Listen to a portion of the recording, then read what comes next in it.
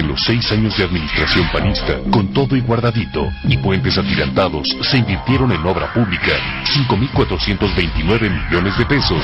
En solo dos años y medio del actual gobierno del PRI, se han invertido 9.560 millones de pesos en obra social.